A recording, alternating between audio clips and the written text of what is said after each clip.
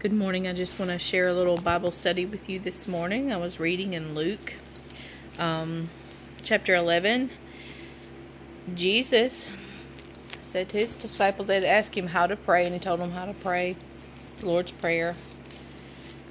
and then he said to them, Which of you shall have a friend and go to him at midnight and say to him, Friend, lend me three loaves, for a friend of mine has come to me on his journey, and I have nothing to set before him. And he will answer from within and say, Do not trouble me, the door is now shut, and my children are with me in bed. I cannot ri- arise and give to you.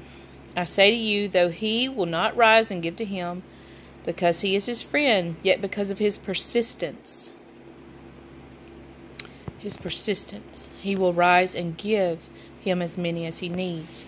So I say to you, ask and it will be given to you, seek and you will find, knock and it will be open to you. For everyone who asks receives, and he who seeks finds, and to him who knocks it will be open.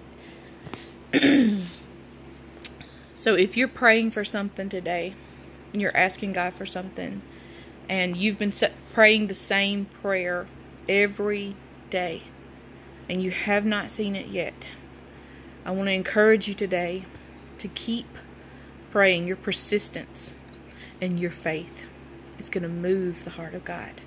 He's going to move on your behalf. Keep praying. Keep seeking His face daily. Keep reading His Word. Keep doing the right thing even when other people don't do the right thing. If you, just because you haven't seen it yet doesn't mean that it won't happen for you. Keep believing Jesus can, He is able to do exceedingly abundantly above all we can ask or think according to the power that works in us. Faith moves mountains. I hope this helps someone today. Be blessed. In Jesus' name.